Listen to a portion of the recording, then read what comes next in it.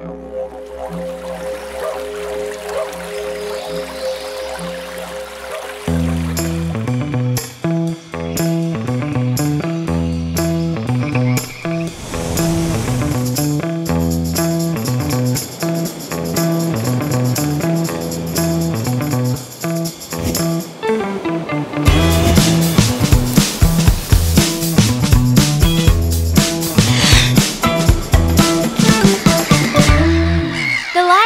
Lab.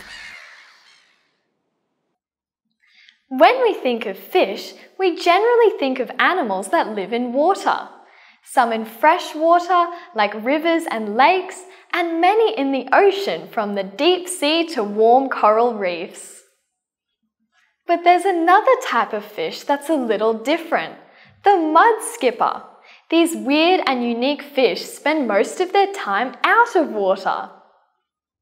Take most fish out of the water, and their gills won't be able to give them the oxygen they need.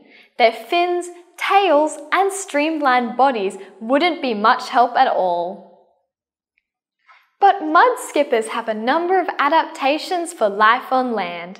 These slippery suckers are able to crawl on land using specialized fins.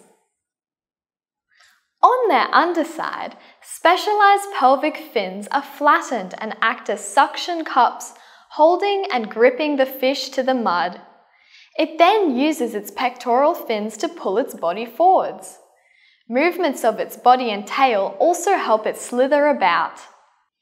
On land, mud skippers get the oxygen they need by absorbing it through their moist skin. They can also take in oxygen by gulping in pockets of air. In the mouth, thin blood vessels close to the surface take in oxygen and pass it to the bloodstream. Spending time on mudflats also provides mud skippers with food and protection.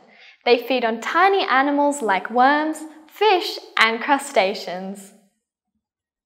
The sun-exposed mudflats also contain tiny plants that form part of the mud skipper's diet. For protection and reproduction, mud skippers dig burrows in the mud.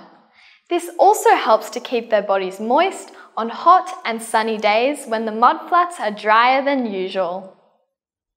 Well, I hope you've learned something new today. I know I have. I'd love to do another video on a weird or strange animal, so if you've got any ideas, leave a comment below. See you next time!